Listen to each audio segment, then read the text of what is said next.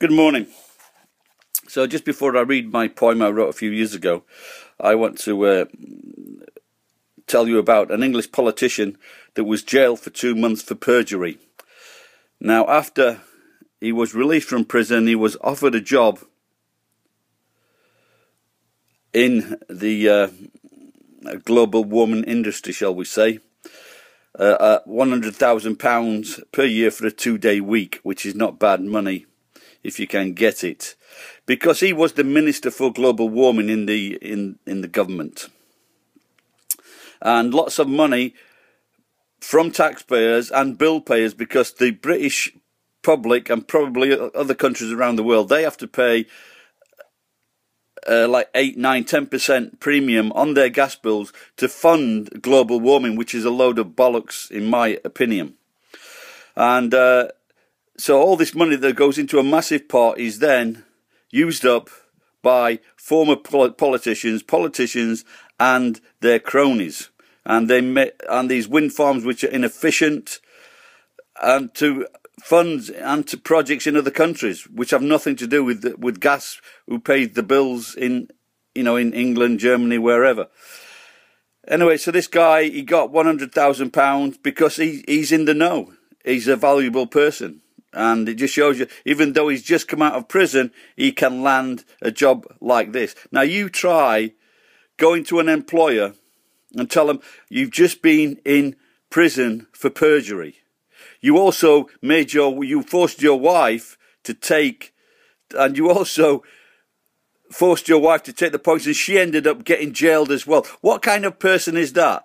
But they don't care because they know that this guy is in touch with the people in government, the people who have the funds, the people who are in touch with the funds. They know he can pull strings and they can get contracts via this guy. Contracts worth multi millions of pounds. And this is why they are willing to pay him. They don't give a shit that he is a criminal. They don't give a shit that he is a piece of shit. Anyway, so this is my poem I wrote a few years ago, and it's uh, called Global Warming from My Arse. Global warming from my arse only if I fart, fart, of course.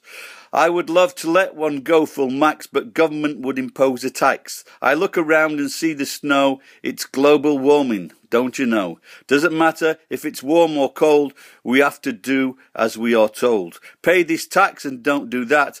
Carbon credits pay fat cats. Politicians toe the line as they finish up their time. No need to think of, well, what now? Foreign power company will employ. So that's my poem. You uh, if you're in if you're in England now, just look out the window. You really think is global warming in Australia? The government is taking action. They're gonna. It looks like they're gonna rescind that tax because they know it's bullshit. Global warming is bullshit. And I don't care how many viewers watch this, if you're a subscriber and you uh, no longer want to subscribe, fine. Because I know I am right. Merry Christmas from Santa. Bye bye. If you uh, if you're new to this, please uh, have a look around my site. About 2,000 videos. Please share, like, and if you're fed up of being told that the earth, that just what global warming is now, is, is now climate change. Because they, they know they were caught out on that con. Anyway, before I start getting crazy, I'm going to finish this video. Bye-bye.